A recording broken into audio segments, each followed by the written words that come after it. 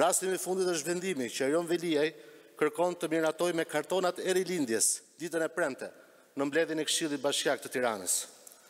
Të gjithë patëm një moment lehtësimi kur inceneratori i Tiranës u sekuestrua nga spak për një sërë shkeljesh të rënda për të cilat pronarët e saj të deklaruar janë në arrati prej dy vitesh tashmë. Të gjithë ne menduam se njëqind e tre milionë eurot që janë paguar padrejtësisht këtij inceneratori që nuk ekziston do të ktheheshin shumë shpejt në arkën e shtetit. Por jo, asnjë nga këto nuk ndodhi.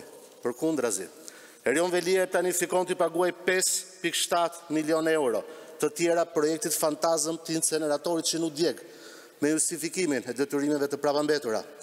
Pasnesër, ditën e premte, në mbledhjen e Këshillit Bashkiak të Tiranës, Një ndër pikat e rendit të ditës janë pikërisht ndryshimet që Erion Veliaj ka ndërmend t'i bëjë buxhetit të bashkisë, ku spikat me një vlerë tejet të lartë edhe zëri i inceneratorit fantazëm, me plot pesë pikë shtatë milionë euro.